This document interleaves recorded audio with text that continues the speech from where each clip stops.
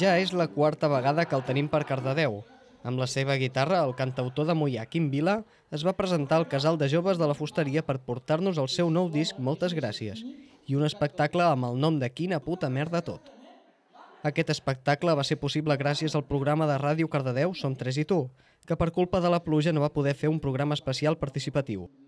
El fet de voler portar Quim Vila era degut a que com a músic passava desapercegut, tot i tenir unes lletres amb un lèxic ric i un estil de jazz ben definit. Actualment presenta el programa Bat de Sol a la xarxa de televisions locals.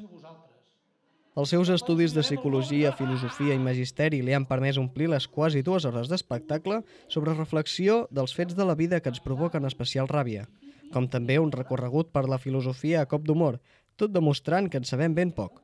Aquests monòlegs van servir per donar pas a quatre cançons, profunditat emocional amb superficialitat comercial, epitafis, cap més oferta sisplau i Europa la tenim petita. Totes elles acompanyades amb la participació per part del públic. Si algú... Aplaudiu, aplaudiu.